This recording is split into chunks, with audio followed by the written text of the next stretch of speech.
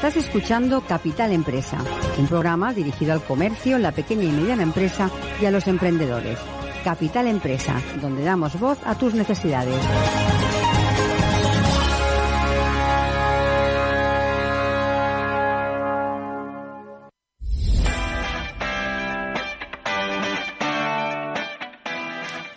El agua es un recurso imprescindible, por ejemplo, para la producción de alimentos, a la vez que escaso y cada vez más amenazado por la contaminación y los efectos del cambio climático.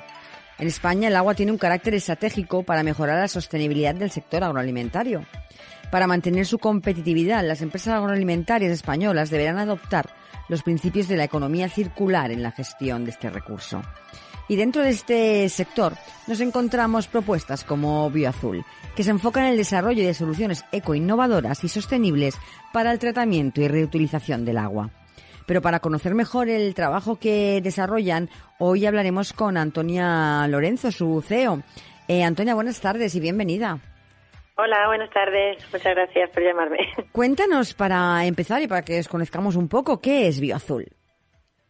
Pues bueno, como has dicho, uh, Bioazul es una ingeniería de aguas y nosotros trabajamos en el desarrollo de estas soluciones ecoinnovadoras para la gestión más sostenible del recurso agua.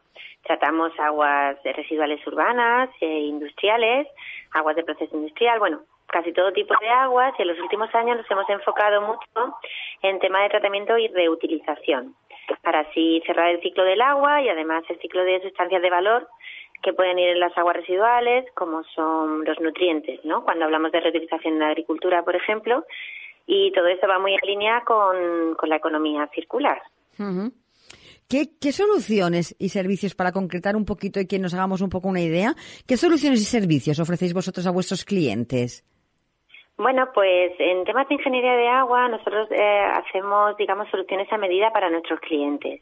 Em, dependiendo del tipo de agua a tratar y del uso que se le vaya a hacer final a ese agua una vez tratada o regenerada, pues desarrollamos una solución a medida, y quiere decir que sea viable económicamente, que técnicamente eh, dé la calidad de fluente que se necesita, o bien para verter a cauce público, o bien para reutilización, cualquiera que sea el uso que se prevé.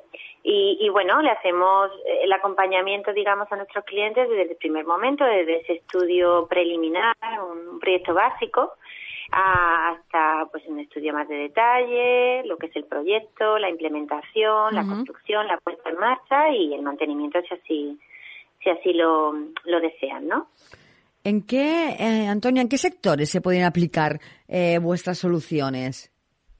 Bueno, pues la verdad es que nosotros trabajamos, digamos, hay como dos grandes bloques. Sí. Sería el agua residual urbana, el agua que se genera en las ciudades, entonces se puede, digamos, tratar ese agua para darle una calidad suficiente para reutilizarla, por ejemplo, en usos urbanos, ya sea baldear calles o sea, para fertilizar, por ejemplo, soluciones basadas en la naturaleza. Esto ahora es la Comisión Europea y otras entidades internacionales están haciendo mucho hincapié en esta necesidad de que las ciudades sean más verdes y más azules.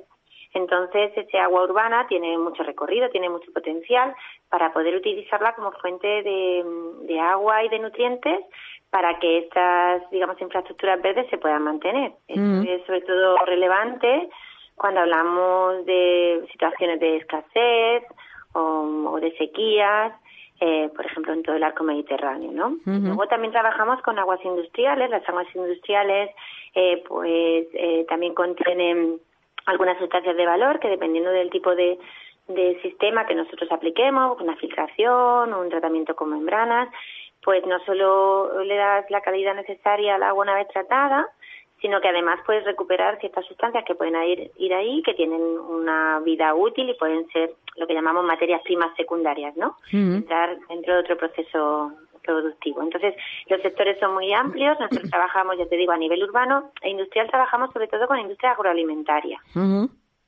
Eh, ¿Cómo nos, nos, calificarías el perfil de, de, vuestro cliente? El de la Entendemos que el gran grupo que donde que trabajáis el agua residual urbana deben ser ayuntamientos y entidades, ¿no? Administración pública, Exacto. Todo, y con competencias en la gestión del agua. Pero el otro gran, el otro gran eh, bloque, digamos, que es el que está dedicado al sector agroalimentario, ¿cómo nos calificarías ahí el perfil de vuestro cliente? Bueno, pues claro, son clientes privados, ¿Mm? son clientes industriales, digamos, que tienen un problema o tienen un reto en, la gestión más sostenible del agua, ya sea en proceso o sea al final, digamos, el agua residual, eh, que mm, son innovadores o que tienen, digamos, el impulso de mm, probar nuevos eh, procesos o nuevos enfoques en el tema de la gestión del tratamiento de, de sus aguas residuales y, y bueno, eh, tienen, yo creo que vas un poco, son clientes que tienen en sus líneas estratégicas también esta innovación y esta sostenibilidad, ¿no? En el proceso industrial. Estos serían, digamos, los, los clientes que que serían son los que normal con los que normalmente trabajamos. ¿En qué proyectos estáis trabajando en la actualidad, Antonia? Pues mira, una cosa que no he comentado es que nosotros, además de ser esta ingeniería y dar estos productos y servicios a nuestros clientes, somos muy activos en proyectos de investigación, desarrollo e innovación a nivel europeo. Entonces, eh, somos pequeñitos, nosotros somos una empresa de, de 12 trabajadores, pero eh, tenemos, digamos, muchas inquietudes a la hora de desarrollar soluciones innovadoras y buscamos financiación a nivel europeo en proyectos que financia la Comisión Europea a través de los fondos que tiene DIMAS de para ir, digamos, enriqueciendo nuestro, nuestra oferta de productos y servicios. Ahora mismo tenemos eh, varios proyectos en marcha. Te indico algunos así como más relevantes y que también tiene que ver con el sector industrial y agroalimentario, como es un proyecto que se llama Water to Return. Este proyecto lo financia la Comisión Europea en el marco de una convocatoria que, se llama específicamente Agua en el contexto de la economía circular. Y entonces, en este proyecto lo que estamos es, eh, vamos a validar un sistema para tratamiento de aguas de mataderos.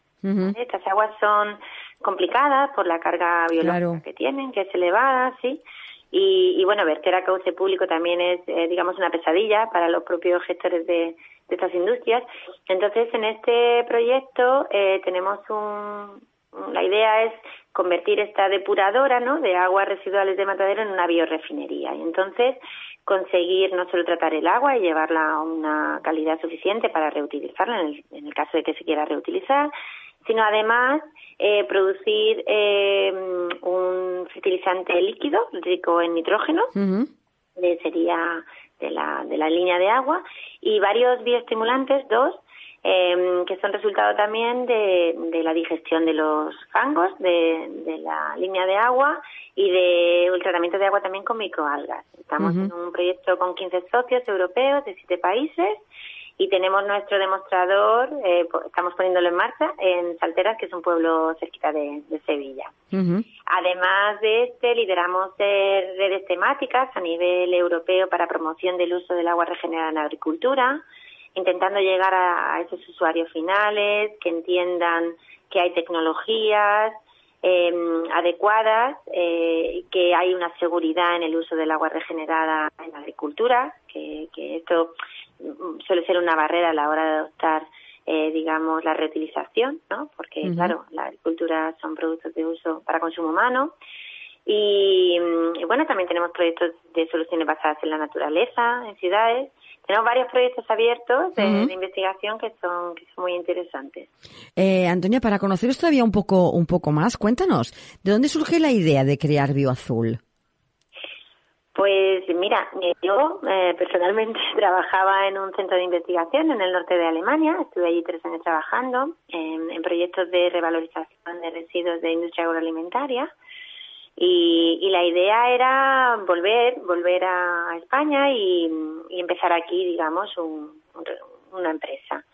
Entonces, eh, varios socios nos, nos juntamos, entonces éramos seis, ahora solo quedamos dos pero bueno, la idea era montar una ingeniería aquí y trabajar en proyectos europeos y desarrollar, digamos, productos y servicios para enriquecer eh, nuestra oferta y ser una empresa potente. Y ahora mismo creo que somos referencia en el sur de Europa de, proyectos europeos porque la verdad es que los retornos que conseguimos, el dinero que movilizamos de Europa para proyectos de I+D es muy importante. Y nada, empezamos hace 16 años y, aquí seguimos, empezamos dos trabajadores, ya somos doce y, y bueno, creo que, que va todo, todo bien y, un poco en línea con lo que queríamos hacer, ¿no? Un poco aportar en la medida de lo posible con nuestro granito de arena pues soluciones para grandes retos sociales, sobre todo aquellos asociados a, la gestión del recurso agua que es tan valioso. ¿no? Desde que surge eh, la idea de crear Bioazul hasta fecha de hoy, eh, ¿cómo calificarías toda, toda esta evolución? ¿Cómo habéis vivido todos los cambios? Bueno, no, no es fácil. Supongo que todo el mundo que tiene una empresa sabe que, que no es fácil porque, bueno, nosotros además que trabajamos por proyectos, eh, tienes que estar siempre, entendemos que ya no hay fase de consolidación de empresas, ¿no? Siempre tienes que estar en esa fase de búsqueda de nuevas oportunidades. Ha sido un viaje difícil, pero un viaje muy, muy motivante y, y al final, pues yo solo saco, digamos, lecciones positivas, ¿no? Yo no tenía ninguna formación, digamos, empresarial, de llevar empresa. Ha sido todo un poco sentido común y lo que he ido aprendiendo. Me he ido rodeando de un equipo de profesionales estupendos que me han acompañado en este viaje. Así que, bueno, con sus asaltos y sus bajos, pero bueno, en general lo, mm, es, es una experiencia muy positiva, ¿no? También trabajamos en algo que nos gusta mucho. Entendemos que es algo que tiene cierto impacto también en la sociedad y en el medio ambiente entonces, al final, pues bien, la verdad, es, difícil, pero, pero bueno, gratificante. Ahora que nos hablas de la sociedad y del medio ambiente, si hablásemos en general, ¿en qué momento dirías que se encuentra en nuestro país eh, las soluciones sostenibles en cuanto a tratamiento de agua se refiere? ¿Cómo se está trabajando en esto? Bueno, España es, eh, un líder mundial, diría yo, en temas de, agua. O sea, realmente en España existen empresas muy, muy potentes y profesionales muy, muy preparados, expertos en, la gestión de agua. También es verdad que nosotros llevamos mucho tiempo teniendo problemas con el acceso y, la disponibilidad del recurso. Entonces, eh, claro, hemos tenido que profesionalizarnos mucho. Eh, lo que pasa que, que, claro, una cosa es cómo avanzan las innovaciones tecnológicas eh, o las innovaciones en, la gestión y otra cosa es cómo avanza el, el, marco regulador, ¿no? Entonces, en, en, España tenemos un Real Decreto de Reutilización, que además viene del 2007, el 1620, tenemos un marco legislativo, pero hay un poco de heterogeneidad en, en la aplicación o la accesibilidad, digamos, a permisos, dependiendo de la comunidad autónoma, de, reutilización. Hay comunidades autónomas muy punteras, hay más atrás, ¿no? Eh, pero bueno, yo creo que vamos en el buen camino y, como digo, eh, todavía nos queda, todavía nos queda y se necesita un impulso por parte de la administración pública y un apoyo a la hora de implementar estas innovaciones importante eh, que, que, esperamos que, que bueno que, que lo materialicen, digamos, con, con recursos y, con un marco legal adecuado, eh, homogenizándolo también con el marco legal europeo, pues en, más pronto que tarde, ¿no? Entonces, bueno, estamos ahí, tenemos una masa crítica muy importante, tenemos un conocimiento y unas empresas preparadas y necesitamos un acompañamiento quizá más más más fuerte por parte de la administración pública. Y si hablamos de, de emprendedores, ¿dirías que se está emprendiendo lo suficiente? ¿Os están prendiendo mucho en este sector? Bueno, es que el sector del agua em, tiene, tiene como varias, digamos, eh, ramificaciones o, digamos, yo qué sé, áreas transversales que están ahora en plena ebullición y que creo que son fuente de, de, emprendimiento y, y una es, eh, y la Comisión Europea además se preocupa mucho del tema de la digitalización, ¿no? La transformación digital en el sector del agua es muy importante y muy relevante para hacer, digamos, real o, que, funcione de verdad de una forma sostenible esta gestión. Y entonces ahí sí que hay muchísimo emprendimiento. Hay muchas empresas que están trabajando en, recopilar datos, eh, tratarlos de forma adecuada, que te den la información necesaria para optimizar el uso de agua, el uso de, de nutrientes, por ejemplo, asociados a la fertilización de cultivos, muchas empresas en este sentido eh, sí que se están formando, sí que están formando y además están enriqueciendo mucho el sector porque están dándonos herramientas muy de mucho valor para, para, poder hacer mejor esta gestión sostenible. Entonces, en ese sentido sí lo creo. El agua es un eh, bueno, es, un bien público y entonces eh, hay también ingenierías que están trabajando en soluciones mucho más mucho más eh, sostenibles y, teniendo en cuenta todos estos principios de la economía circular, de, del uso adecuado de los recursos y por ahí también. Pero yo diría que sobre todo en temas de transformación digital hay muchísimo emprendimiento y muchas nuevas empresas de gente muy joven que, están encontrando su mercado y las oportunidades en el sector del agua. en, durante esta entrevista, cuando te estoy preguntando por la innovación y por el emprendimiento, pues hablamos de eso, ¿no? De emprendedores, de ingenierías, de qué tiene que aportar eh, las instituciones para apoyar eh, en este en este sector. Pero si nos ponemos en el otro lado, al lado del, del, del usuario, ¿no? A las personas que consumimos ese agua. Eh, ¿Crees que el usuario está suficientemente concienciado eh, en que tenemos que cambiar algo para que para no, no acabar con, con este recurso? Bueno, yo creo que está empezando a concienciar, concienciarse, perdón. Y, mm. pero queda, queda todavía un, un poco de, camino que recorrer. Y creo que eso también es una tarea que nosotros desde el sector privado, las empresas, eh, debemos, digamos, eh, hacer campañas de comunicación y, y también la administración pública. Hablábamos ayer mismo de, de, ideas de proyectos, ¿no? En, en, ese sentido, como de campañas de concienciación, educación, para entender eh, los recursos necesarios para producir los alimentos. O sea, yo creo que es verdad que todavía no somos conscientes de los recursos que necesitamos. Eh, estamos hablando de agua, de energía, de productos químicos, o sea, de qué, de qué, de todo lo que se necesita para producir un kilo de cualquier tipo de alimento o una lata o un paquete, ¿no? Entonces, creo que ahí sería importante hacer un esfuerzo.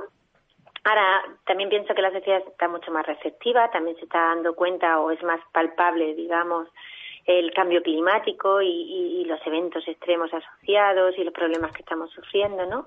Entonces creo que ahora la sociedad está receptiva y que sí que habría que haber, que por parte de la administración pública y también del sector privado, una un esfuerzo para hacer esta, estas campañas de sensibilización y de información, o sea, mucha información. Yo creo que, que si la gente entiende bien eh, lo que se necesita, eh, lo va a valorar más y va a ser, digamos, más responsable a la hora de consumir eh, Antonio, ya para ir finalizando y centrándonos en, en Bioazul, ¿cuáles serían vuestros próximos objetivos? Bueno, pues nosotros hemos trabajado en los últimos años activamente a nivel europeo, hemos trabajado en muchos proyectos de I+.D., como te he comentado antes. Creo que ha sido una labor eh, fundamental para estar donde estamos hoy, porque hemos aprendido de grandes expertos de centros de investigación, de otras empresas. Hemos abierto nuestra mente a un contexto global, eh, entendiendo las problemáticas de muchos países, no solo las nuestras. Entonces ahora mismo estamos trabajando para verter de una forma más eh, directa todo ese conocimiento que hemos ganado en el territorio. Entonces estamos trabajando con grupos de acción local, lo que aquí en Andalucía se llaman eh, grupos de desarrollo rural, para mm, eh, promover la economía en el medio rural y, por tanto, evitar despoblamiento, para que haya oportunidades de negocio en el marco de la economía circular en el sector primario o pequeños comercios tradicionales. Em, y luego, por otra parte, esa sería una de las líneas que ahora estamos empezando y que nos ilusiona mucho.